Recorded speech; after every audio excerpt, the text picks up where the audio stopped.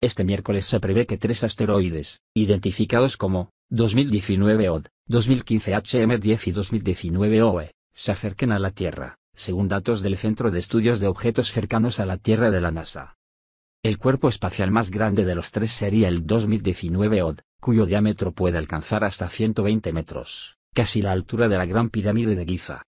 El objeto espacial viaja a una velocidad de 19.017 km por segundo y se acercará a unos 353.650 km de nuestro planeta, una distancia más cercana de la que separa a la Luna de la Tierra, 384.400 km. El asteroide 2019 OD fue detectado por primera vez a inicios de este julio, y desde entonces ha estado bajo la observación de la NASA, informa el portal Inquisitor. El objeto espacial fue calificado como un asteroide de tipo Apolo dentro del grupo de objetos próximos a la Tierra. ¿Qué pasará con los otros dos asteroides?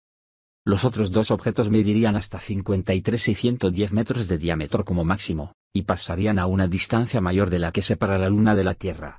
El 2015 HM10 se desplaza a una velocidad de 9.051 km por segundo, y el 2019 OE, a 9.005 km por segundo. De acuerdo con la NASA, ninguno de los tres cuerpos espaciales representa un peligro para nuestro planeta, planeta.